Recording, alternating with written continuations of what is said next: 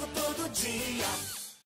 O presidente da Comissão de Constituição e Justiça da Câmara anuncia o relator da reforma da Previdência. É o deputado delegado Marcelo Freitas, do PSL de Minas Gerais. Dia de água na fervura em Brasília. Jair Bolsonaro diz que atrito com o presidente da Câmara foi chuva de verão. Página virada, um abraço, Rodrigo Maia. Rodrigo Maia toma café da manhã com Sérgio Moro e almoça com Paulo Guedes. Dólar ultrapassa os quatro reais com a crise política, mas cede durante o dia com bandeira branca em Brasília. O ex-presidente Michel Temer vira réu no caso da mala com meio milhão de reais entregue a assessor. Investigação sobre desvios na Companhia de Saneamento de Goiás descobre mala com um milhão de reais e prende cinco pessoas. Jovem apontado como suspeito de assassinar a namorada grávida é encontrado morto no Rio de Janeiro. Operação contra abuso e exploração sexual de crianças prende 137 pessoas. Os criminosos foram identificados pelo setor de inteligência cibernética do Ministério da Justiça. O Conselho Nacional de Justiça intima desembargador que fez comentários sexistas sobre juízas como o cantor Leonardo. Nós vamos aí com vocês. E uma homenagem aos heróis da escola Raul Brasil. Alunos, funcionários e policiais que impediram um massacre ainda maior são condecorados.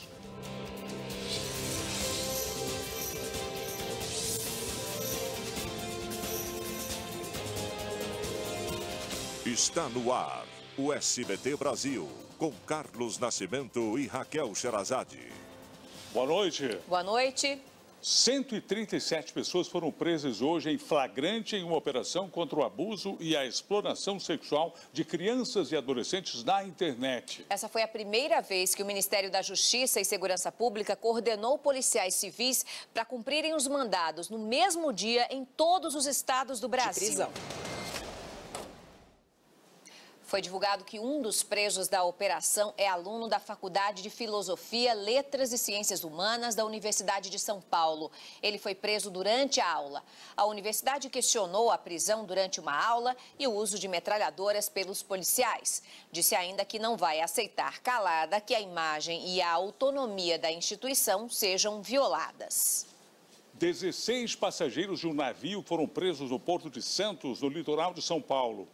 Em uma mala deles, a Polícia Federal encontrou grande tinha algum quantidade de droga. Veja a seguir, presidente Bolsonaro diz que ministro da Educação passa por problemas por ser novo no assunto e não ter tato político. O técnico Abel Braga tem arritmia durante Fla-Flu e deve ficar internado até domingo. Não perca, a gente volta já já. Piquiti.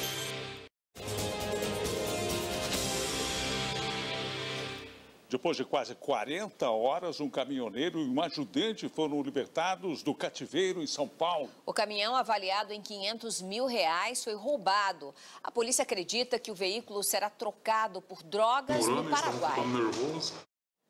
Uma adolescente grávida foi assassinada com um tiro na cabeça no Rio de Janeiro. Segundo a polícia, o principal suspeito, o namorado dela, foi morto por traficantes.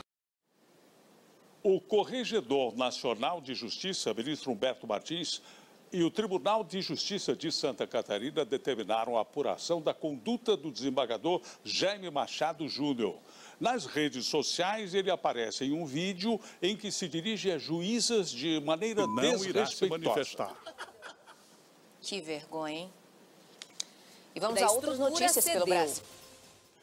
A Polícia Federal prendeu cinco pessoas numa operação que apura fraudes em licitações da Companhia de Abastecimento de Goiás. O ex-governador do estado, José Eliton, do PSDB, é investigado. Taveira Rocha. A Justiça Federal em Brasília aceitou a denúncia do Ministério Público contra o ex-presidente Michel Temer no caso da mala com 500 mil reais encontrada com o ex-assessor Rodrigo Rocha Loures. Com esta decisão, o ex-presidente se torna réu por corrupção passiva. Segundo a investigação, o dinheiro foi entregue a Rocha Loures pelo executivo da JEF, Ricardo Saldi, e se destinava ao grupo político de Michel Temer. A defesa do ex-presidente disse que a acusação terá vida curta porque não tem amparo em prova lícita. Os atritos entre o presidente Jair Bolsonaro e o presidente da Câmara dos Deputados, Rodrigo Maia, parecem ter chegado ao fim ou, pelo menos, a uma trégua. Hoje foi dia de buscar a paz entre o governo e o Congresso. Jair Bolsonaro afirmou que a crise com Rodrigo Maia é página virada o presidente da Câmara dos Deputados foi na mesma linha. Disse que o assunto está encerrado e também buscou a reconciliação com o ministro da Justiça, Sérgio Moro. São desse assunto. Foi dia de. O presidente Jair Bolsonaro negou que tenha determinado uma comemoração do golpe militar de 1964. Em São Paulo, a ordem do dia alusiva à data foi lida hoje.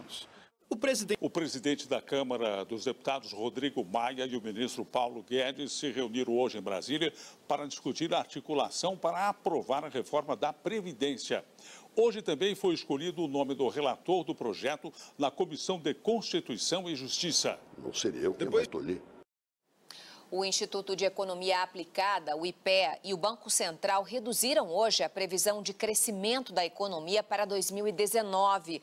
No estudo, o IPEA também faz um alerta. Sem a reforma da Previdência, o país pode entrar em uma nova recessão. O presidente Jair Bolsonaro disse hoje que vai conversar com o ministro da Educação, Ricardo Vélez Rodrigues, sobre os problemas da pasta da educação. E que somente depois desta conversa irá decidir sobre o futuro do ministério Em transmissão nas redes sociais, o presidente Jair Bolsonaro disse que mandou o ministro do Turismo, Marcelo Álvaro Antônio, demitir a presidente da Embratur, Teté Bezerra. O motivo foi a organização de um jantar marcado para a semana que vem ao custo de 290 mil reais. Mais cedo, a Embratur havia informado em nota que Teté Bezerra pediu de demissão. Ela estava no cargo desde maio do ano passado. O ministro ainda não definiu quem vai dirigir a Embratur. O consórcio Rumo venceu o leilão da Ferrovia Norte-Sul com oferta de 2 bilhões e 700 milhões de reais, o que representa um ágio de 100% sobre o lance mínimo. A concessão será por 30 anos para o trecho de 1.500 quilômetros que vai de Porto Nacional, em Tocantins, à Estrela do Oeste, no interior de São Paulo.